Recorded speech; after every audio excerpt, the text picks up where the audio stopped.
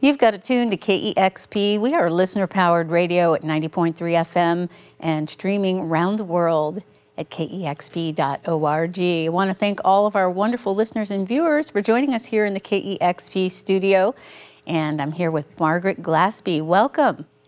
Thank you so much. So happy to have you back. It's been a while and a beautiful new album called Echo the Diamond. I'm excited to hear you perform some songs live from that. Thank you. Us too. Margaret Glaspy live on KEXP. Take it away.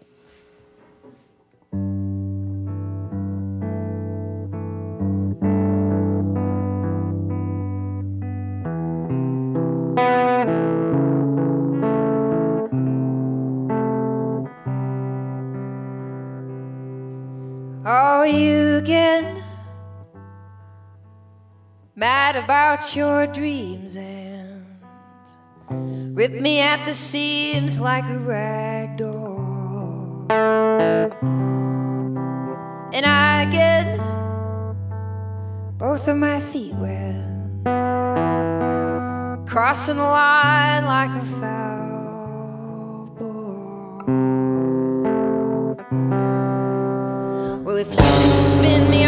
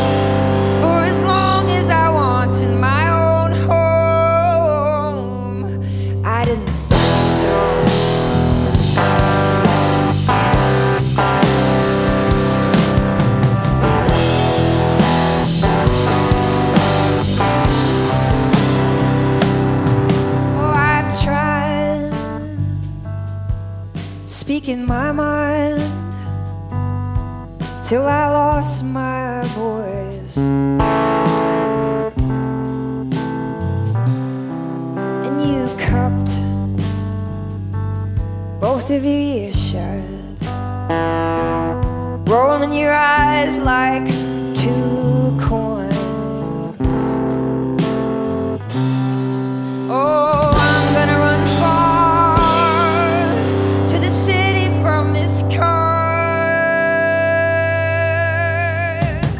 Can you forget everything that I said?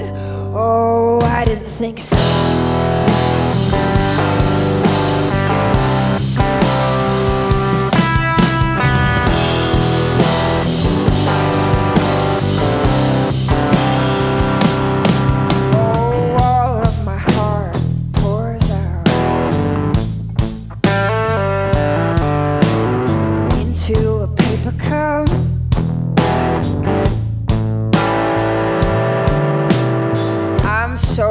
So unhappy now.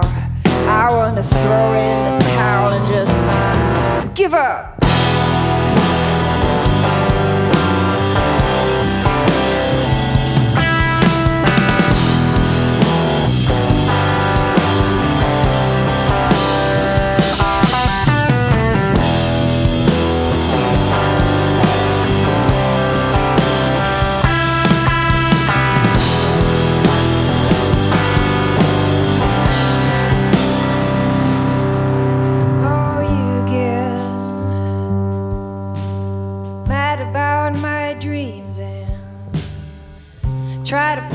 Strings like a puppet. I open up the door, you can't help but shut it. Oh, can I turn around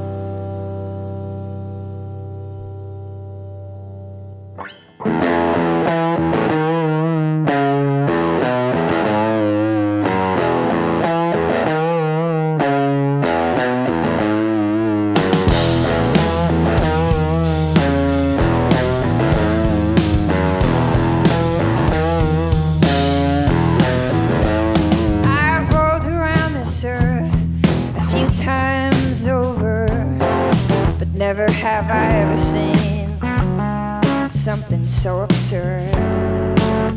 Are you a paradise bird? Cause violet shines bright in both your eyes.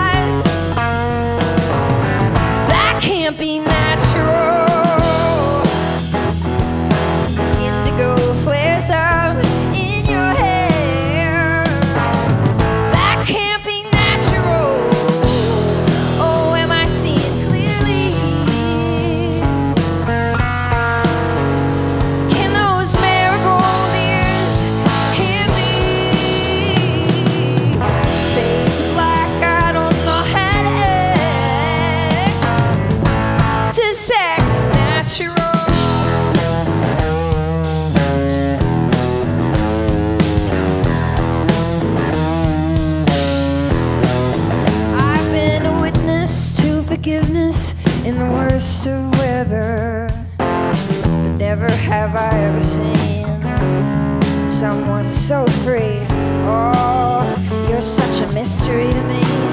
You even sparkle in the dark. Oh, I can't unsee it. Is this some kind of butterfly rebirth? Are you from this earth?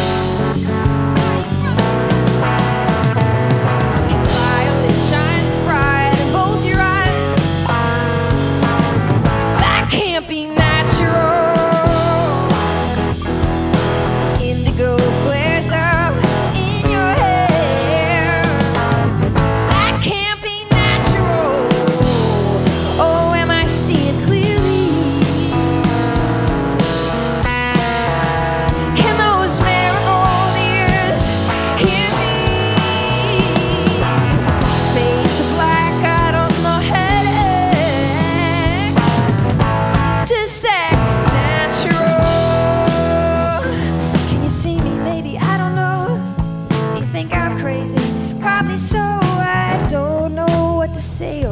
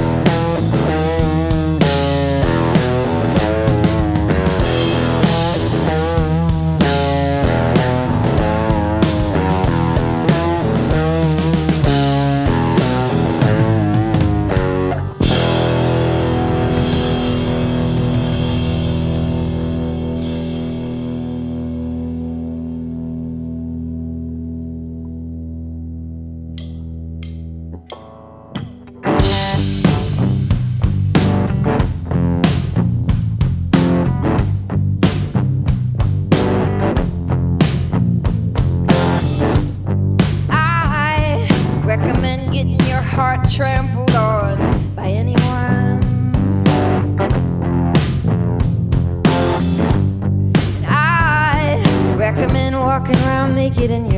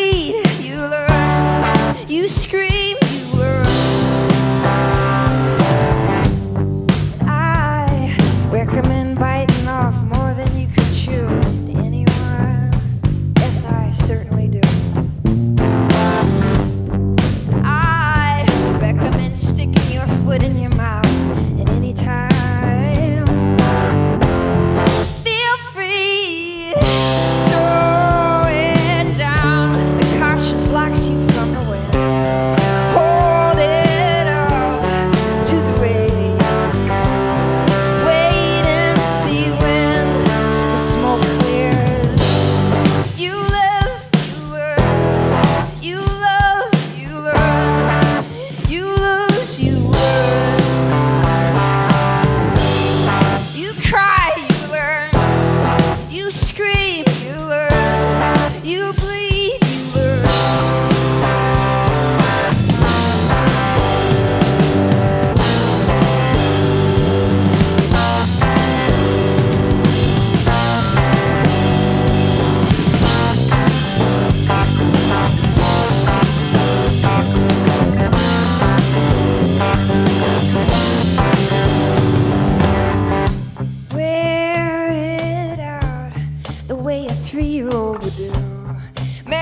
tear down, you're gonna have to eventually anyway.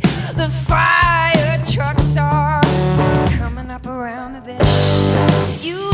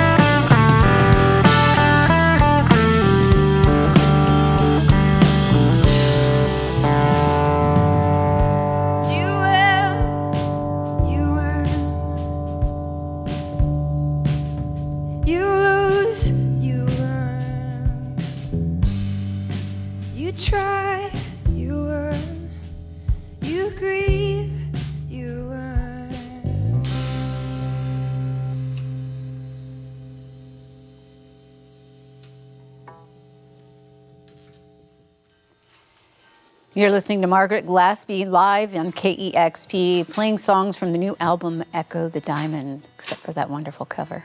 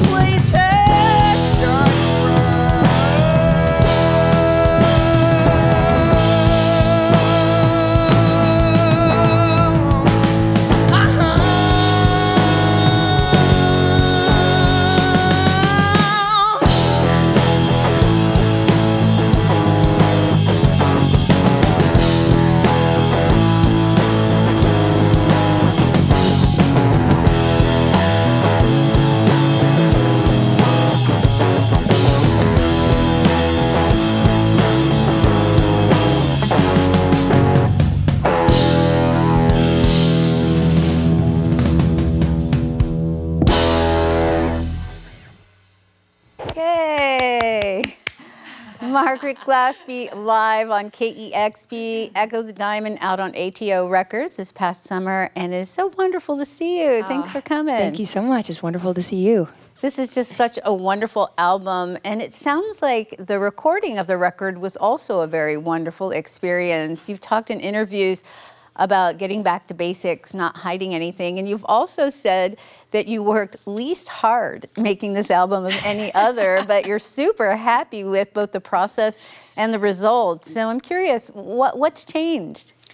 Yeah, I mean, I, I would say I, I worked very hard on it, but I think that there was the less, um, you know, I guess people say you don't call it work when you love what you do. Um, so there's certainly a lot of time spent with it, but um, yeah, I really didn't feel like a lot of strain, I would say, with this record. It was really, um, it did feel like there was kind of air passing through the studio, and then all of a sudden we had a record. Um, and I'm not sure exactly, I mean, uh, you know, obviously the people that I worked with with this record are incredibly talented.